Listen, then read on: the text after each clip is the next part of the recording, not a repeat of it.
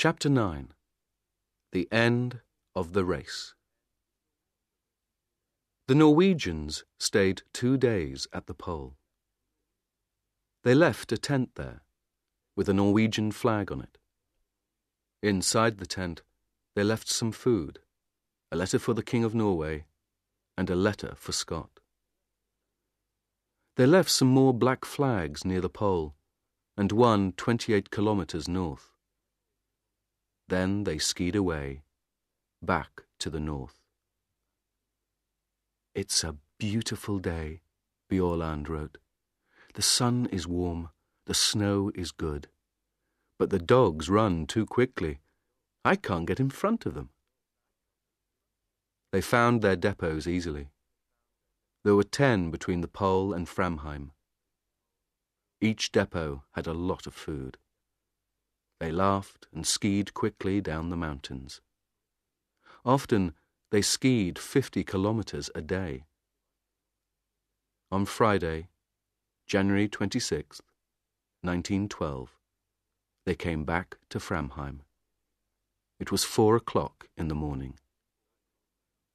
Inside the wooden house, Lindström, the cook, was asleep. Amundsen walked quietly to his bed.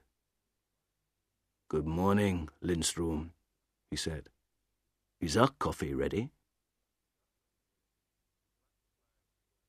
The black flags waited at the pole.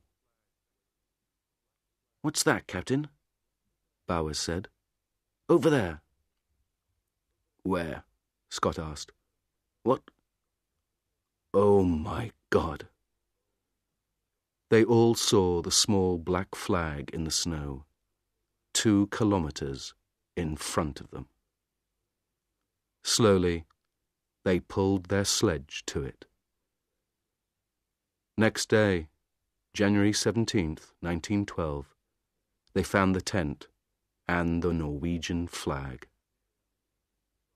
Near it, Scott took the British flag from under his clothes and put it up. In his diary, Scott wrote, This is a very bad day. We are all tired and have cold feet and hands. It is minus 30 degrees centigrade, and there is a snowstorm. Great God, this is an awful place. They turned north. Five tired, unhappy men in the coldest, emptiest place on earth.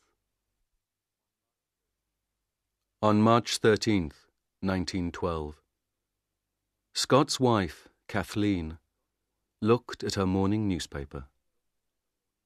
Norway's flag at South Pole, it said. She looked at it for a long time, and then began to cry. What's the matter? her friend asked. My poor, poor husband, Mrs. Scott said. What's happened to him? Where is he now? Scott's men were always hungry. There were not many depots, and they were difficult to find. We need to find the next depot today, Oates wrote. But how can we find one black flag in all this snow? It's very difficult.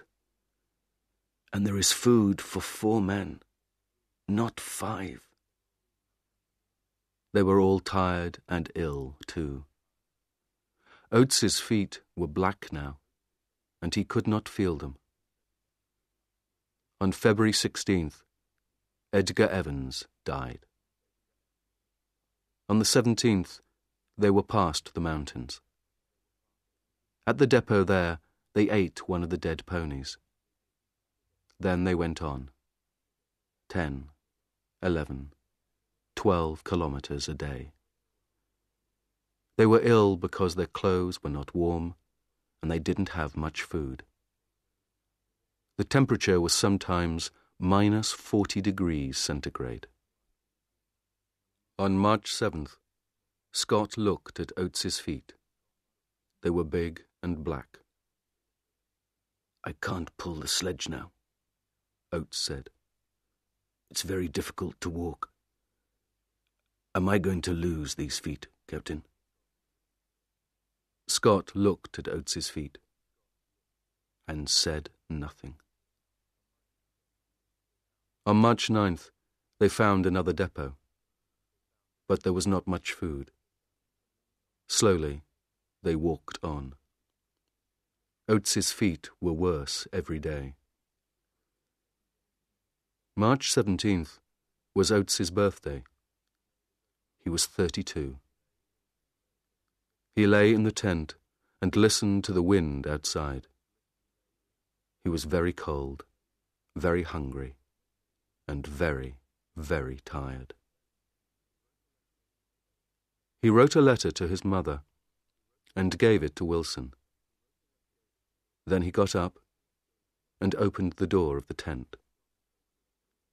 He stopped in the door for a minute. Scott, Wilson, and Bowers looked at him. They didn't speak.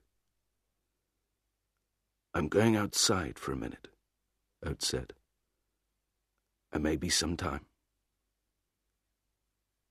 They didn't see him again. At Cape Evans, the Englishmen waited. On December 11th, Meares and the dogs came back. On January 3rd, Teddy Evans and his two men arrived at Cape Evans. The Terra Nova came and went. Winter began. Scott did not come. The Englishmen waited all winter at Cape Evans. Then, on October 26, 1912, they started for the south. Two weeks later, they found a tent. There were three bodies in the tent Scott, Wilson, and Bowers. They put the bodies under the snow. Then they took the men's letters and diaries and went north to Cape Evans again. In Scott's diary, they read, Oates died like a good Englishman.